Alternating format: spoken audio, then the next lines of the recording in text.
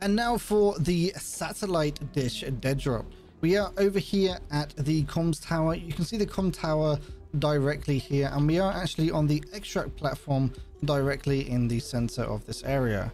We do have a wonderful marauder shooting some wonderful liquids at us at the moment. But whilst we are here, we're actually going to want to walk directly towards this um, satellite dish that's been absolutely rinsed.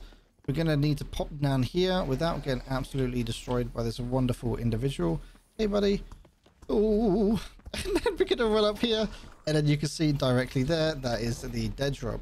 The thing about dead drops is once you've actually put your items inside of the dead drop itself and you have dropped it off, if you happen to die to either a, a wonderful marauder like this wonderful guy or to a player, it doesn't matter. As soon as you've actually clicked that deposit items, oh god.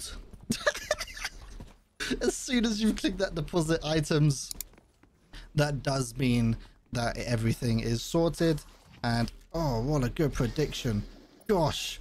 Yeah it basically means all your stuff is done and whatnot. So if you happen to die it doesn't really matter a huge thank you to all of my patreon supporters over on patreon.com slash piranha tv and a special thank you to mr ir bribe justin asdf Freddy and beansy for your continued support